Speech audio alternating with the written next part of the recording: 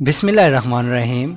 आज हम second year biology chapter number one homeostasis के अंदर किडनी के प्रॉब्लम्स पढ़ेंगे। यानी इससे पहले हमने यूरिनरी सिस्टम पढ़ा जिसके अंदर हमने किडनी को डिटेल्स में पढ़ा और नेफ्रॉन का स्ट्रक्चर पढ़ा सारा कुछ ऑलरेडी हो चुका है। सो so, आज हम उनके प्रॉब्लम्स पढ़ेंगे। मसलन किडनी के कौन कौन से प्रॉब्लम्स हो सकते हैं। सो किडनी प्रॉब्लम्स आज हमारा टॉपिक होगा। सो किडनी प्रॉब्लम्स पढ़ने से पहले हमें थोड़ा बहुत रिवाइज करना पड़ेगा। मसलन, हमने इसमें यानी यूरिन फॉर्मेशन देखी थी कि किडनी क्या कर रहे होते हैं? They are producing urine formation sorry urine formation करते हैं। ठीक है? और यूरिन फॉर्मेशन के अंदर स्टेप्स क्या क्या थे? मसलन, सबसे पहला जो स्टेप था, वो प्रेशर फिल्ट्रेट आता था। प्रेशर फिल्ट्रेट देन जो सेकंड स्टेप था वो उसकी सिलेक्टिव रीअब्जॉर्प्शन थी। सिलेक्टिव रीअब्जॉर्प्शन अब हम इसकी डिटेल में नहीं जाएँगे क्योंकि हम ये ऑलरेडी पढ़ चुके हैं सही? सो so, यहाँ पे आ, मेरा जो कह लें कि हमारे जो टॉपिक से कंसर्न होगा वो सिलेक्टिव रीअब्जॉर्प्शन में है। कि मसलन अगर कैल्शियम आइंस ये रीअब्जॉर्ब करता है ठीक है? कैल्शियम आइंस ये वापस रीअब्जॉर्ब करेगा यानी फिल्ट्रेट में से तो इस दौरान क्या होता है कि अगर कैल्शियम आइंस ज़्यादा है ना so, it will gonna react with oxalic acid. ठीक है? समटाइम्स ऑक्जेलिक एसिड हमारे ब्लड में ज़्यादा हो जाता है, मसलन ऑक्जेलिक एसिड हमारे पास कहाँ से आता है? वेजिटेबल्स होती हैं बहुत सी। सही से मैं चलो यहाँ पे नहीं लिखता, बल्कि ये डायग्राम थोड़ी सी मैं हटा देता हूँ यहाँ से। सो ऑक्जैलिक एसिड हमारे पास कहाँ कहाँ से आएगा, मसलन वेजिटेबल्स होती हैं। ख़ास तौर पर टमाटर्स में बहुत होता है ये, ठीक है? वेजिटेबल्स हैं और टमाटोज़ हैं। सही? सो वेजिटेबल्स स्पेशली टोमेटोज के अंदर ऑक्जेलिक एसिड की तादाद बहुत होती है ठीक है? यानी कैल्शियम की कंसनट्रेशन ज़्यादा हो और आ, साथ कह रहे हैं कि जो ब्लड है उसके अंदर ऑक्जेलिक एसिड मौजूद हो सही? यानी कैल्शियम कंसनट्रेशन ज़्यादा है ऑक्जेलिक एसिड आता है तो ये दोनों आपस में रिएक्ट करते हैं। मतलब ऑक्जेलिक एसिड का मैं स्ट्रक्चर बनाऊँ ना सो ये होता है इस तरह C H C double O H C H two C double H इसके साथ um, सो so इसके साथ कैल्शियम रिएक्ट करेगा। Uh, मेरे ख्याल से मैं शायद ये ऑक्जेरिक एसिड का स्ट्रक्चर गलत बना रहा हूँ बल्कि इसे इस तरह नहीं होता। ऑक्जेरिक uh, एसिड मुझे जहाँ तक याद पड़ता है ये ये होता है इसी तरह लाइक सी डबल एच यहाँ पे भी एच सी डबल एच ठीक है ये oxalic acid it is oxalic acid सही? सो so, ये जो ऑक्जेलिक एसिड कैल्शियम के साथ रिएक्ट करता है और कैल्शियम ऑक्जेलेट बना लेता है मसन हम्म, यहाँ पे हो जाएगा एच सी ओ सी ए हो जाएगा यहाँ पे भी sorry C A similarly C double bond O H O C A बना लेगा ठीक है? सो ये क्या बन जाएगा हमारे पास? कैल्शियम ऑक्जिलेट और जब कैल्शियम ऑक्जिलेट की ज़्यादा तादाद होती है तो ये किस शक्ल में चला जाएगा? स्टोन की शक्ल में. So it will convert into stone so in it is all a chemical reaction बताने का मकसद ये था कि जब ब्लड के अंदर ऑक्जेलिक एसिड का लेवल ज़्यादा होता है तो ये कैल्शियम के साथ रिएक्ट करके खासतौर पर किडनीज के अंदर ठीक है? क्योंकि किडनीज के अंदर आयंस की ट्रांसफ़र हो रही होती है यहाँ पे आयंस कंसनट्रेटेड शक्ल में होते हैं। सो so, जो कैल्शियम है ये एक ऑक्जेलिक एसिड के साथ रिएक्ट करके कैल्शियम ऑक्जिलेट बना सकता है। इस तरह कैल्शियम यूरिएट क्रिस्टल्स भी बनते हैं ठीक है? कैल्शियम कैल्शियम ऑक्जिलेट के अलावा यूरिएट क्रिस्टल्स भी होते हैं। सही सो so, इनको हम किडनी स्टोन्स कहते हैं। इसकी आपको डायग्राम भी नज़र आ रही है। सही सो so, इसमें अगर आप देखें तो ये अब किडनी के अंदर एक स्टोन मौजूद है या एक यूरिटर के अंदर स्टोन मौजूद है। सो so, ये कहाँ पे यानी यूरिन फॉर्मेशन के बाद ठीक है अगर यूरिन के अंदर ज़्यादा कैल्शियम हो और कह रहे हैं कि ऑक्जेलिक एसिड आइंस मौजूद हों तो या फिर यूरिक एसिड ज़्यादा मौजूद हो वो आपस में रिएक्ट करके साल्ट बना लेंगे। ठीक है सो ये किडनी स्टोन्स कहलाएँगे। स्टोन क्या क्या क्या कह लेंगे फ़ंक्शन होता है कि इट ब्लॉकेज ठीक है ये एक ब्लॉकेज से क्रिएट कर देगा जहाँ पे भी मौजूद होगा उस ब्लॉकेज से फिर इन्फ्लेमेशन होती है। ठीक है आप पूछेंगे जी इन्फ्लेमेशन क्या होती है? चलो इन्फ्लेमेशन को सिंपल कह लें कि यानी ऑर्गन डैमेज स्टार्ट हो जाता है। ठीक है कि ऑर्गन डैमेज स्टार्ट हो जाएगा और ऐसा ऐसा किडनी खत्म होना शुरू हो जाएँगे और रीनल फेलियर की तरफ़ केस जाता जाएगा। सही? सो so, यानी अब इसमें जो कैल्शियम ऑक्जिलेट है ना ये जो स्टोन है, ये ऑलमोस्ट सेवेंटी परसेंट केसेस के अंदर हमें किडनी के स्टोन में ये मिलता है। सही? और एक और स्टोन जो भी हमने बात की टेन परसेंट इसी तरह जो से है, हमें मिलता है यूरिएट सो ये टेन नहीं है, ये फिफ्टीन है। सही? फिफ्टीन परसेंट हमें कैल्शियम यूरिक एसिड के साथ आएँगे, यानी कैल्शियम यूरिएट मिलेगा। ठीक है? यानी यूरिएट के कम चांसेस अब ज़्यादातर कैल्शियम ऑक्सीलेट बनते हैं। ठीक है जी और ये जो जो गट्ठे होते जाएँगे और इनका स्टोन बन जाएगा स्टोन क्या करेंगे? ब्लॉकेज करेगा। ब्लॉकेज से जारी बात है सारा मैकेनिज्म डिस्टर्ब होगा और ऑर्गन डैमेज की तरफ़ केस जाता जाएगा। ठीक है? और लास्ट में जो सबसे लास्ट में स्टेज आती है रीनल फेलियर जब गुर्दे काम करना बिल्कुल ख़त्म कर देते हैं। सही? सो so, यानी ये जो सारा स्टोन फॉर्मेशन का जो सा लिंक है ये जाके किसके साथ होता है? सिलेक्टिव री एब्जॉर्प्शन यानी बाज दफ़ा आयंस की कंसनट्रेशन इतनी ज़्यादा होती है ब्लड के अंदर के वो आयन ज़्यादा रिलीज़ होते हैं और जिसकी वजह से वो जब आएँगे इसके अंदर फिल्ट्रेट के अंदर या कह लें कि जो यूरिन के अंदर अगर आयंस की ज़्यादा तादाद होगी तो ये आपस में रिएक्ट करेंगे। और ये स्टोन ज़रूरी नहीं है, यहाँ पे यहाँ पे बने।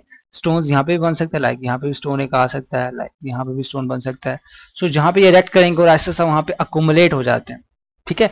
यानी इनकी जो अकोमलेशन है ना अकोमलेशन ऑफ़ कैल्शियम यूरिएट या कैल्शियम ऑक्जिलेट ये स्टोन बनाएगा, ठीक है? और ये स्टोन फिर ब्लॉक कर काज करेगा इन्फ्लेमेशन ऑर्गन डैमेज इसके अंदर आ जाएगा। सही? अब स्टोन बन गए हैं, सही? अब स्टोन की ट्रीटमेंट क्या होती है? बहुत सिंपल है। आजकल की मॉडर्न टेक्नोलॉजी के अंदर हम इसे नाम देते हैं लिथोट्रिप्सी इसमें क्या होता है कि नाम लिख लेता हूँ मसलन आजकल की मॉडर्न टेक्नोलॉजी में हम क्या कहते हैं? लिथोट्रिप्सी सही? और लिथो का मतलब कह लें कि स्टोन होता है। ठीक है? Tripsy mean break down break down so यानी स्टोन के ब्रेक डाउन को लिथोट्रिप्सी कहते हैं। सो so, इसमें बहुत सिंपल है कि हमारे पास मशीन्स हैं। मशीन्स किस किस्म की मशीन्स हैं? कि वो अल्ट्रासोनिक साउंड वेव्स प्रोड्यूस करती है। ठीक है? अल्ट्रासाउंड का आपने नाम सुना होगा। मोस्टली ये बहुत से क्लिनिक्स के अंदर अल्ट्रासाउंड होता है। ठीक है, जिसके अंदर कह सकते हैं इंटरनल ऑर्गन स्टडी किए जाते हैं खास तौर पर स्टोन्स की स्टडी अल्ट्रासाउंड के ज़रिए होती है या फिर एक्सरे के ज़रिए हम देखा जाता है। अच्छा इसमें डायग्नोसिस में मिस कर गया कि स्टोन को डायग्नोज किस तरह करते हैं? स्टोन की डायग्नोसिस तो उसमें एक्सरे है, ठीक है एक्सरे फ़िल्म के ज़रिए हमें पता लगता है, या फिर अल्ट्रासाउंड करवाया जाता है, ठीक है, ज़्यादातर अल्ट्रासाउंड होता है किडनी में पेन नज़र आती है, ठीक है, इसके सिम्टम्स क्या क्या होंगे? सिम्टम्स की बात कर लेते हैं जो किडनी स्टोन है किडनी स्टोन के सिम्टम्स सो so, सबसे पहले पेन होगा किडनी साइड पर।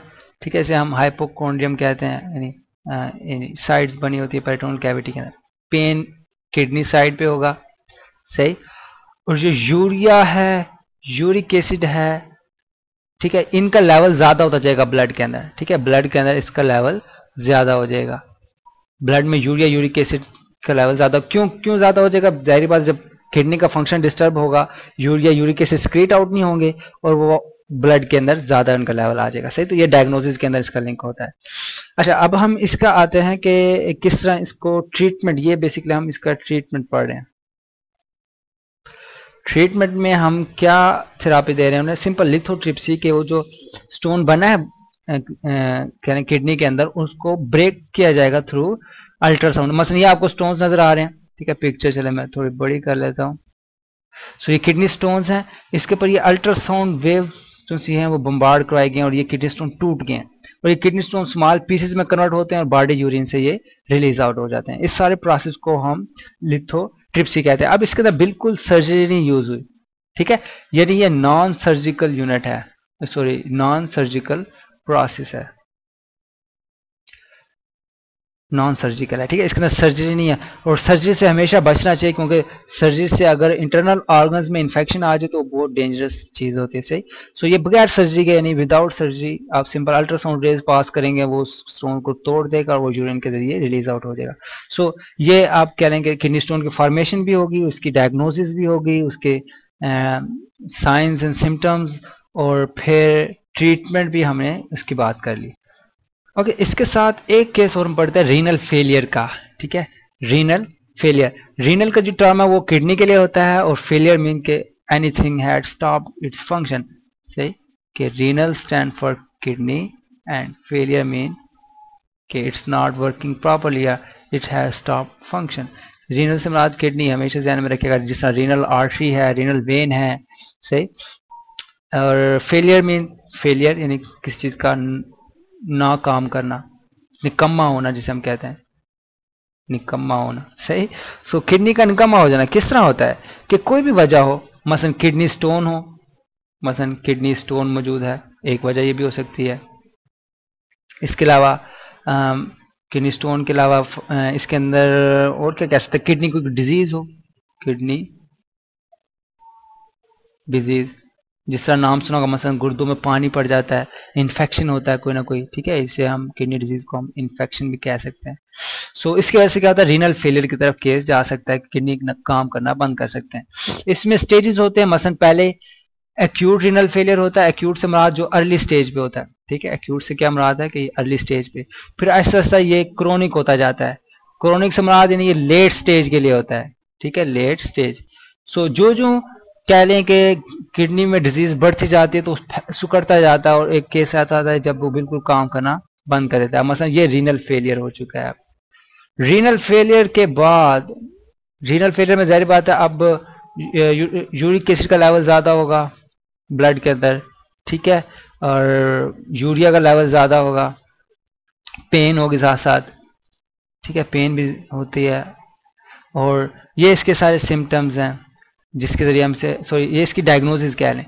सिम्टम्स में पेन आ जाएगी, ठीक है, उसके बाद उसको कुछ डिज़ीज़ होगी, कोई पुरानी, ये सारे आ जाएगी, जिसके ज़रिए रीनल फेलियर का हमें पता चलेगा।